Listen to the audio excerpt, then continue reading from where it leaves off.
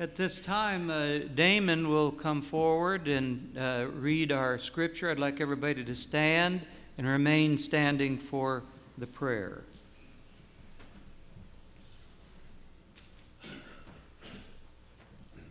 Morning. The scripture reading this morning is Philippians chapter 2, verses 5 through 11. Your attitude should be the same as that of, Jesus, of Christ Jesus, who, being in very nature God, did not consider equality with God something to be grasped, but made himself nothing, taking the very nature of a servant, being made in human likeness. And being found in appearance as a man, he humbled himself and became obedient to death, even death on a cross.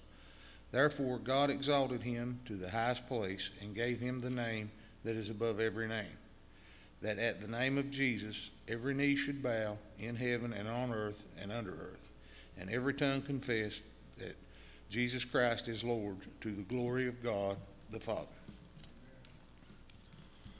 Let's pray. Our Father in heaven, Lord, we thank you so much for allowing us to be out here today. Father, we ask that you just look over us and guide us. Father, we ask you bless this service. We ask that it be taken out into the world. Father, we just ask that what we do, say, be for your honor and glory. Forgive us where we fail you. In Jesus' name we pray. Amen.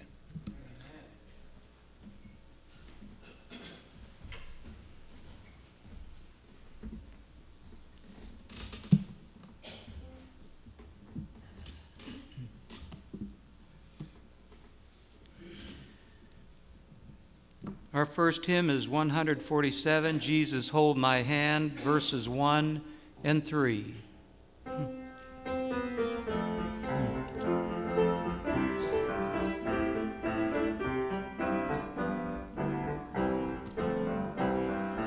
As I travel through this pilgrim land, there is a friend who walks with me leads me safely through the sinking sand. It is the Christ of Calvary.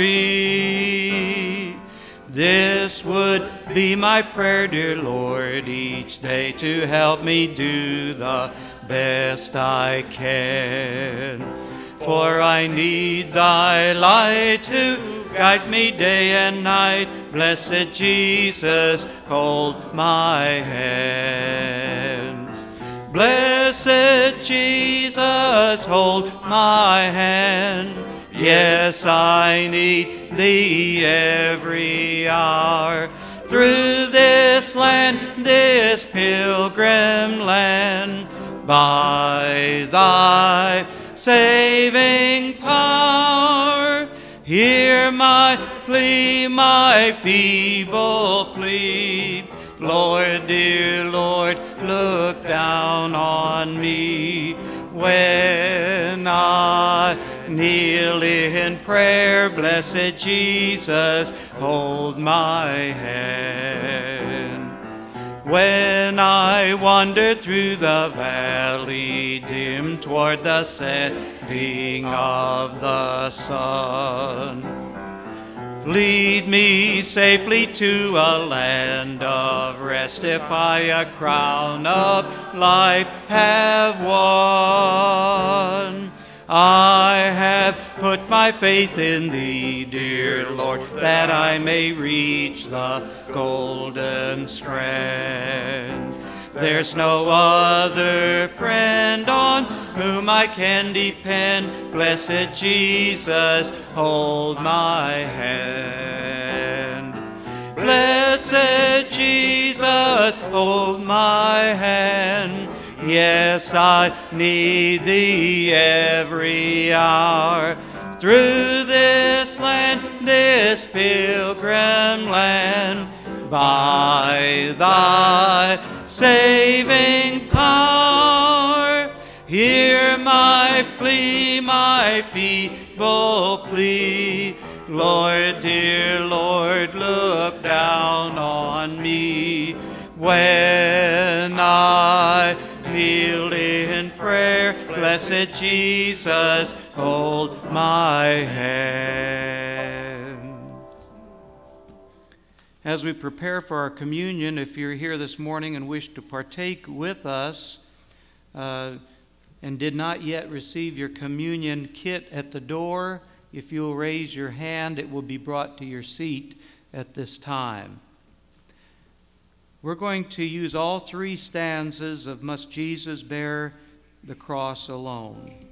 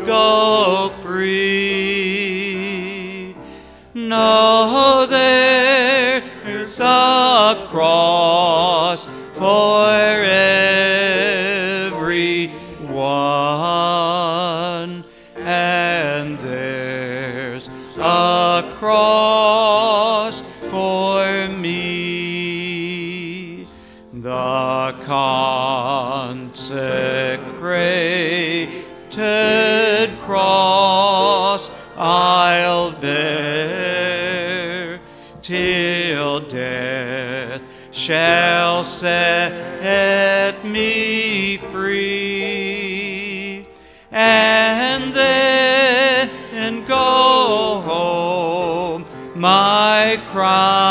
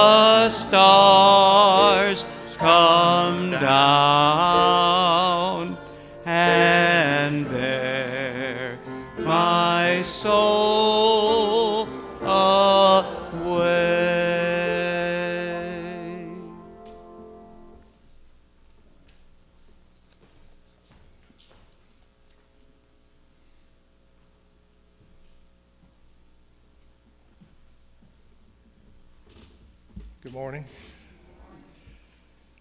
You can go ahead and remove your communion from the packet and hold it in readiness.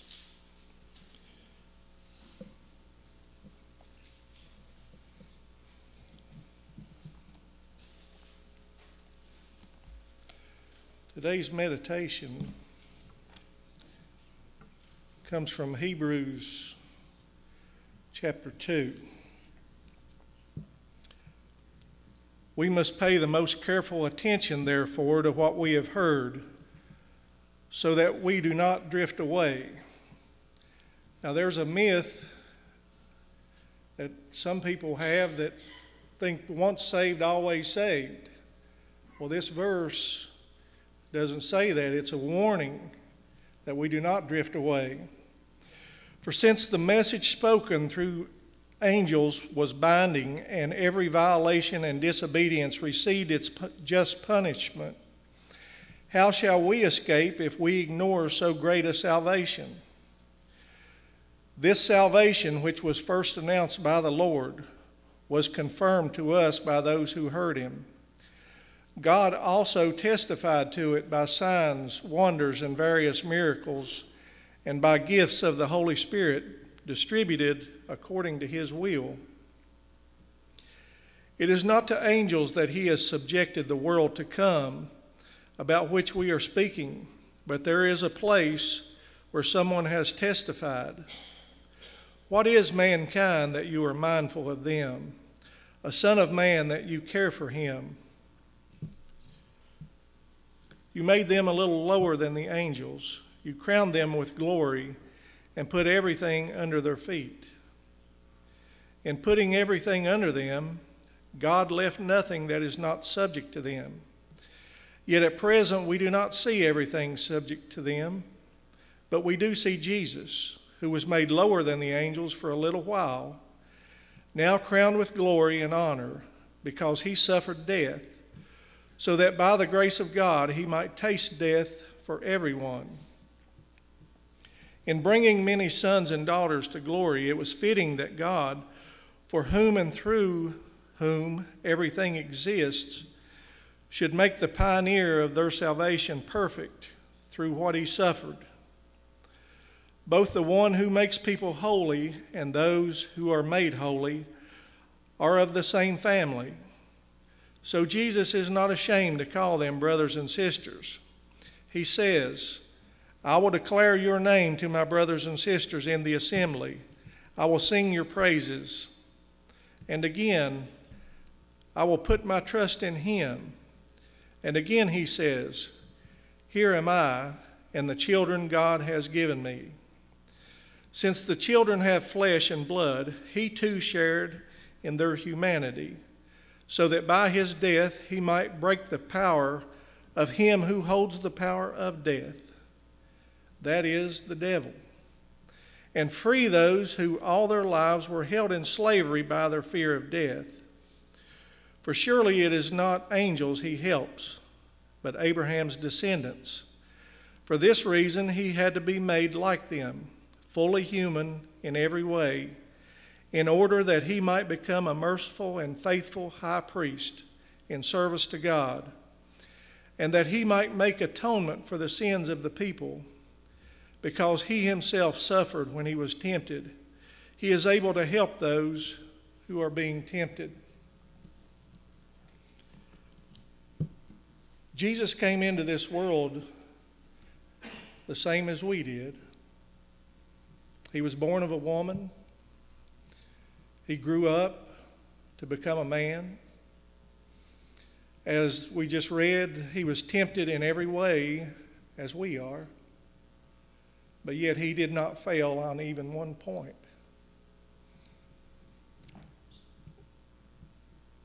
Therefore, he knows the struggles we go through every day. Don't ever think that oh, he won't understand. He understands. And he will get us through whatever we're going through. This morning, as we partake, let us examine ourselves. Let us look inside ourselves. Let us look to God above, who provided our sacrifice for us. Jesus was God in the flesh, and he suffered and died upon that cross for each and every one of us. So let us now bow in prayer and prepare to partake of the communion. Dear God, our Heavenly Father, how thankful, Father, that we are to gather together here this morning. We're also thankful, Father, for those who are unable to be here uh, because of the virus or sickness or whatever the case may be that watch on uh, the social media. We're thankful for them as well. And God, as we now prepare to partake of the communion, may we remember Jesus. Remember the pain and suffering and anguish that He went through for each and every one of us because of His love for us and His love for you and your creation. God, we're so thankful that Jesus took our punishment for us, willingly gave His life upon the cross for us. He could have called the angels to relieve him at any time. But he withstood all the stripes of the whip, the crown of thorns forced upon his head, forced to carry his own cross through the streets. And through all of this, Father, as he was hanging on the cross, he's asking forgiveness for those who put him there. And God, that includes us. Because of us, Jesus had to go to the cross, had to give his life for us. How thankful, Father, we are for Jesus and what he's done. May we now partake of the bread and recognize it as being the body of Jesus. Let us now partake of the bread.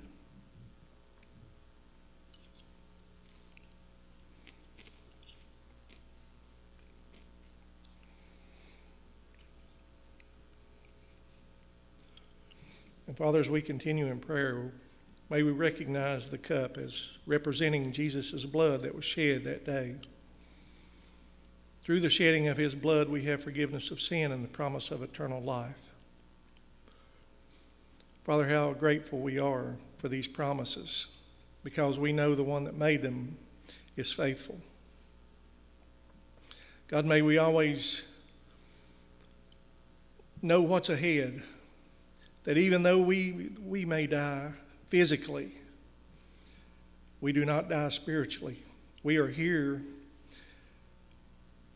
to feed our spirits through this communion service. The emblems do nothing for the body, but only for the spirit. And God, how thankful we are for your spirit. Help us to continue to do your will in our lives.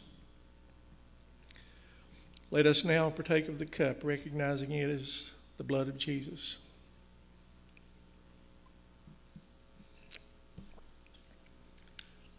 Father, in conclusion, we are so thankful for everyone here and so thankful for those that are watching us on the social media. Please continue to bless each and every one of us. But may we always recognize where our blessings come from because we know that all good things come from you. Father, thank you for all that you do for us, but we thank you most of all for your Son and our Savior, Jesus Christ. And it's in His name we pray. Amen.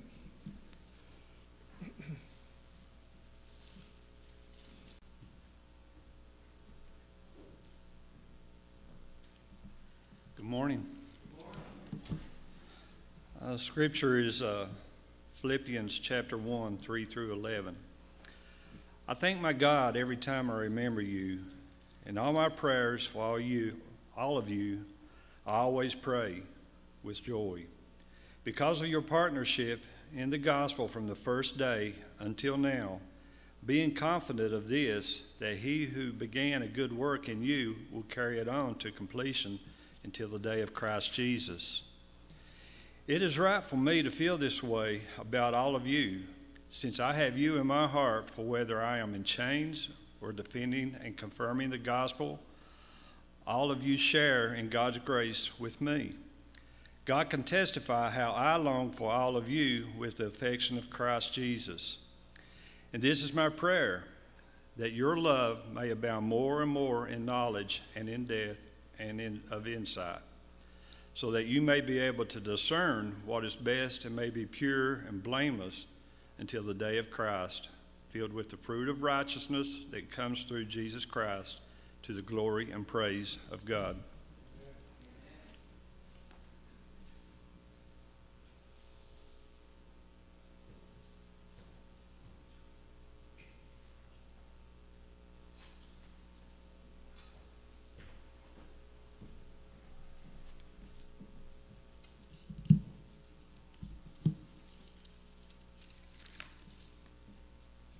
Thank you, Damon and Eddie, for the reading today and for the beautiful devotion by Mike and for Amy with her beautiful song. We appreciate all of you who participate in our services and uh, bring us closer to the Lord through what you do in uh, your efforts to honor Christ.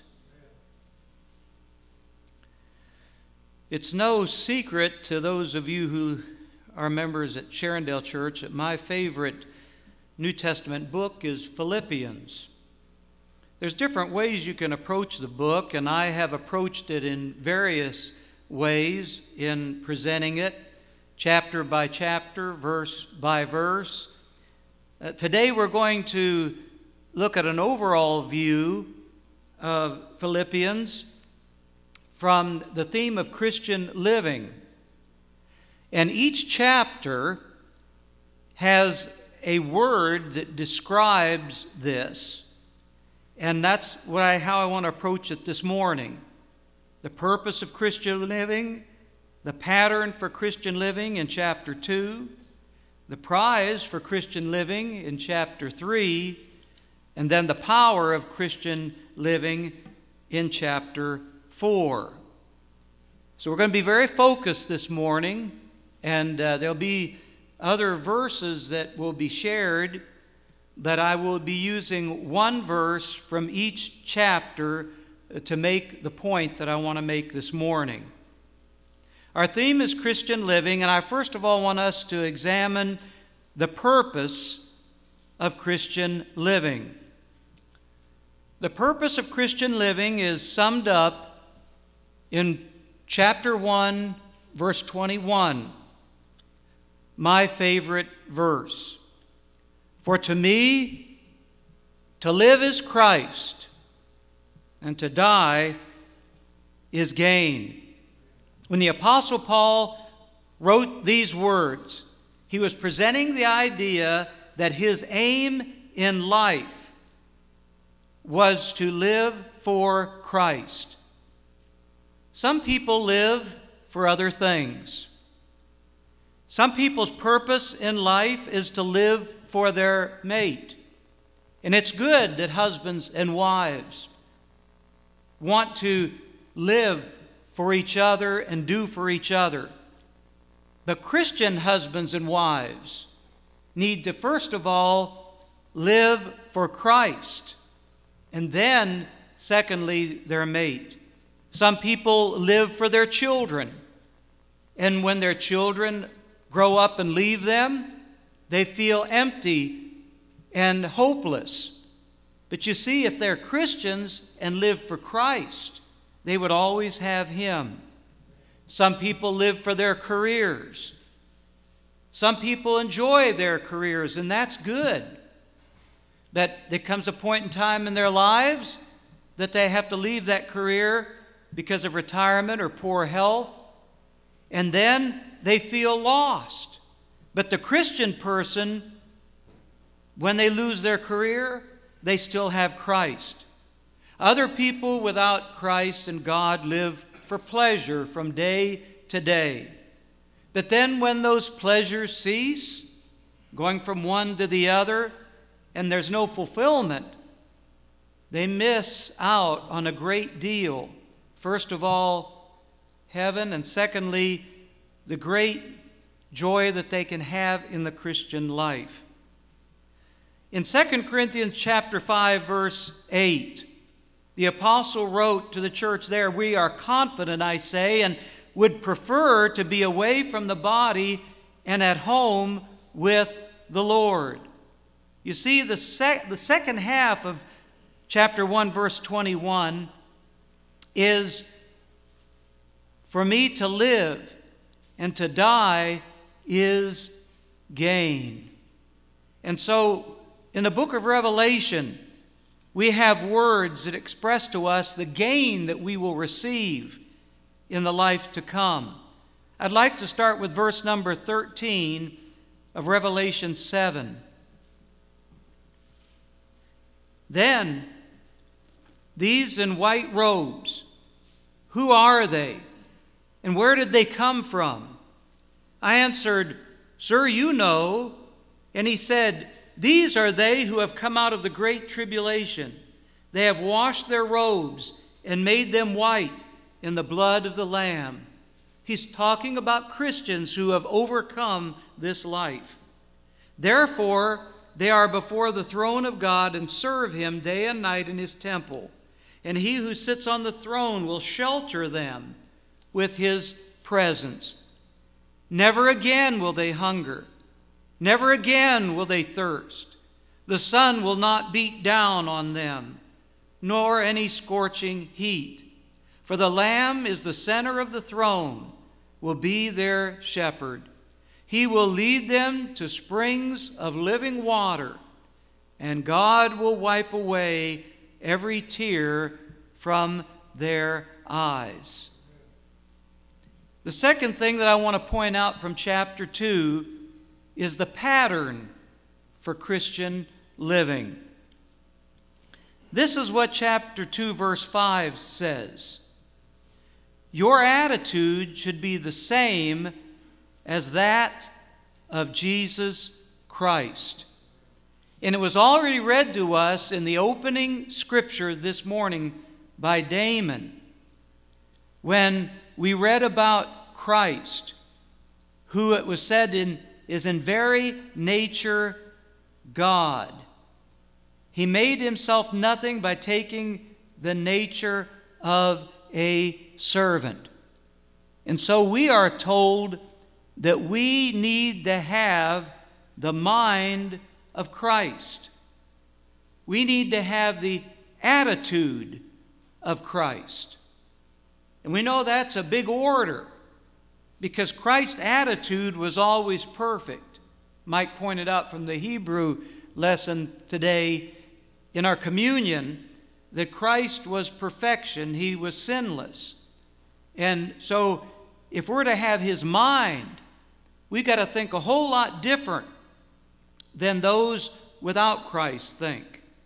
We have to think a whole lot different from our selfish motives and think about how Christ's mind worked. What we have here in chapter 2 is two people that the Apostle Paul commends. He really cares for them and he loves them because of the work they did for Christ and the service that they performed for him. One of the men that we see here in chapter 2 is Timothy, a young preacher that was converted by the Apostle Paul on his first missionary journey.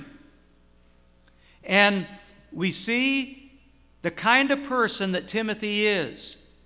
He has a servant mind. Notice these words about Timothy.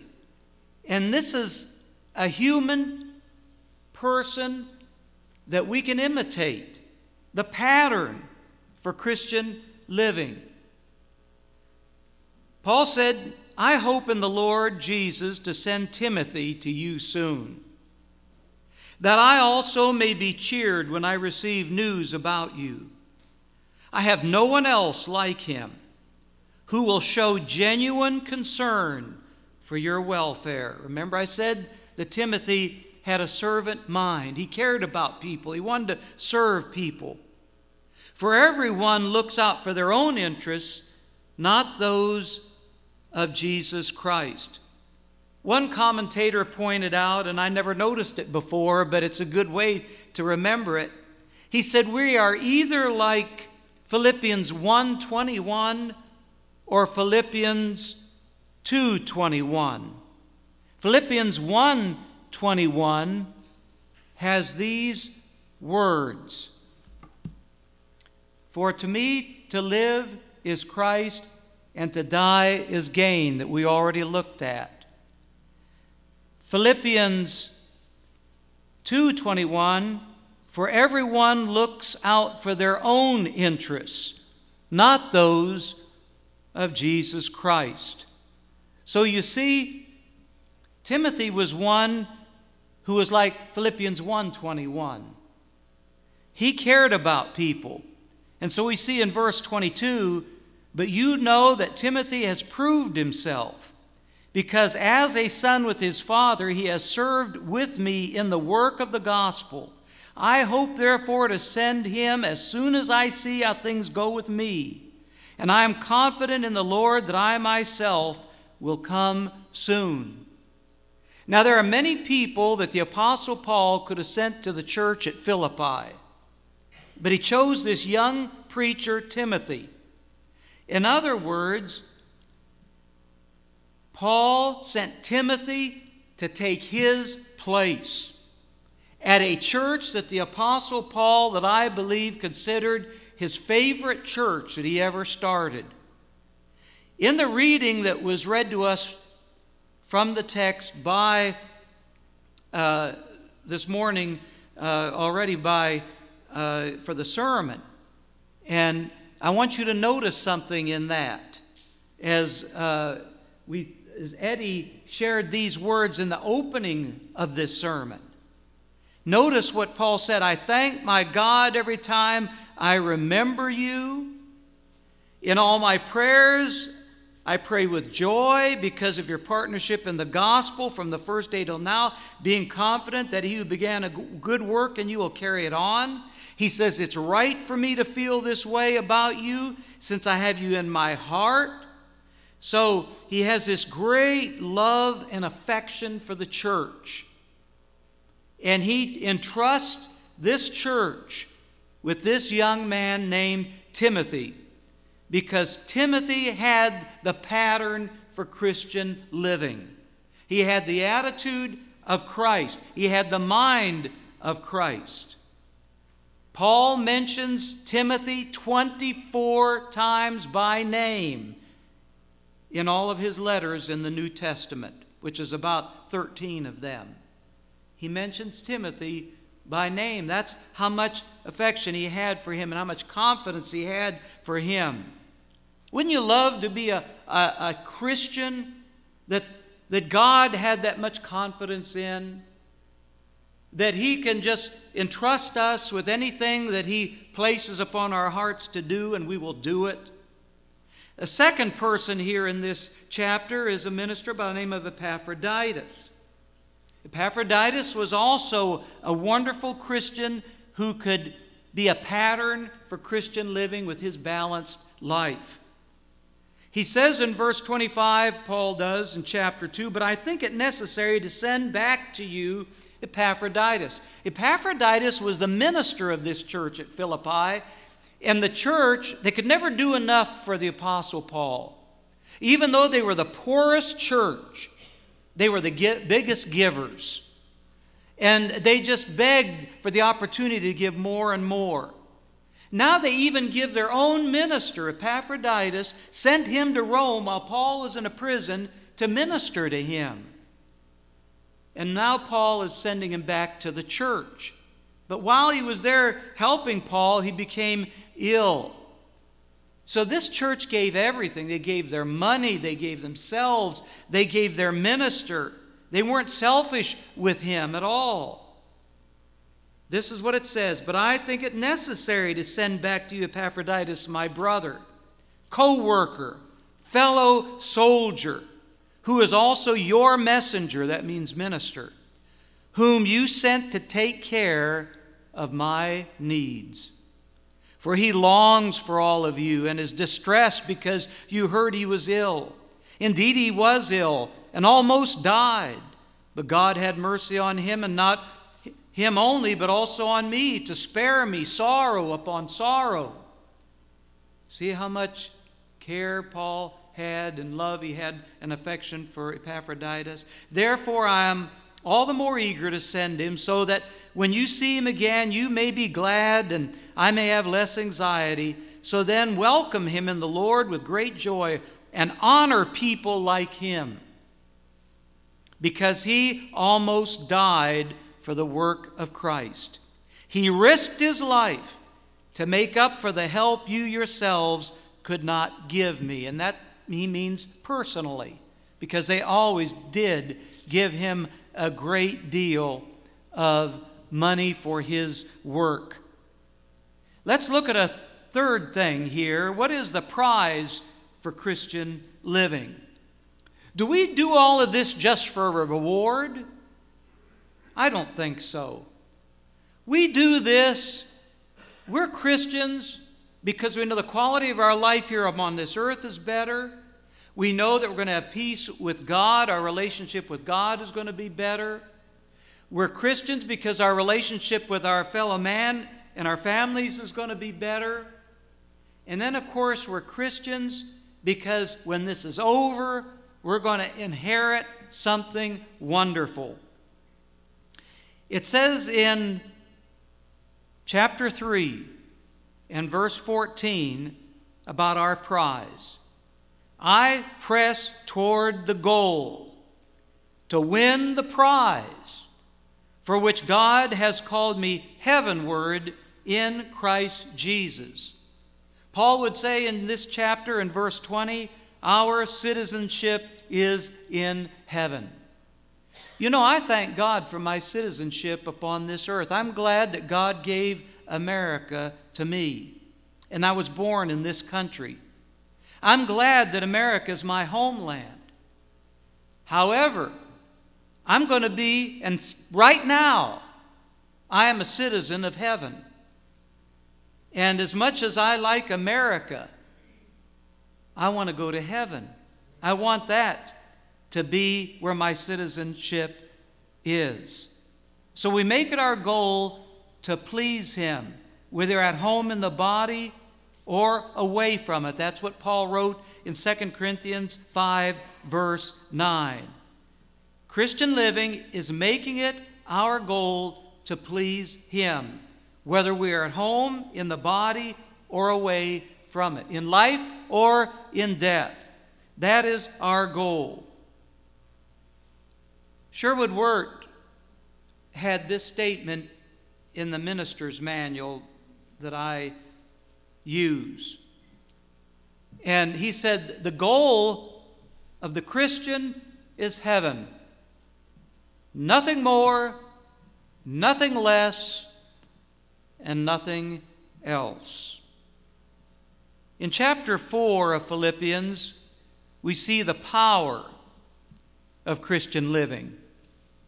Now, we know that we want to be good people, like it said there that the Apostle Paul wanted to be his goal to be like Christ.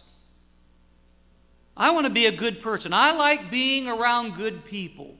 All my life, I've been around good people, even before I came in the church. And I admired them. And even at a young age, I thought, I want to be good. I want to be a superhero. I want to be the one who takes up the uh, mantle for those who are maybe having problems, uh, maybe who are being made fun of. I want to be the one that uh, is good to them when nobody else is. But of course, that big ideal that I had uh, didn't turn out too good because as I was growing up, I found out that I really wasn't that kind to people after all. I wanted to be their hero, but there are times that I wasn't their hero at all. I was just the opposite. I wanted to be good. I wanted to be a good child because I loved my parents, but I found myself being disobedient and disappointing my parents. I found out that it's just not possible to be good enough. However, there's a power in us now as Christians that's going to help us become that. In one word in the scriptures, the Bible refers to us that we are becomers. Now, we're not there yet. Perfection will come eventually, but we're on our way to perfection. And we have the power of this Christian living to do it. In chapter 4 and verse 13, Paul said, I can do everything through him who gives me strength. You see, he's telling us with that verse, I can do everything through him who gives me strength, that us Christians have power within to meet the demands of life. And that power is released when you and I have faith. The beginning of our Christian life is faith. Without it, we read that it's impossible to please God. But it's also the end of our Christian life. And everything in between. Faith isn't just simply one step in the plan of salvation, it's every step in the plan of salvation. Uh, by faith, we repent. By faith, we confess. By faith, we're baptized. By faith, we live diligently the Christian life and use everything in our power to make this life better for ourselves and others in preparation for heaven. It's all done by faith, and faith unlocks the door, like an older hymn used to say. Prayer is the key to heaven, but faith unlocks the door. So you and I, as Christians, have to have an increased faith. Is our faith stronger than it was on that day when we confessed Christ as our Savior? It should be. It should be a thousand times stronger. But let us grow in our faith because the power is available. We're just not turning it on.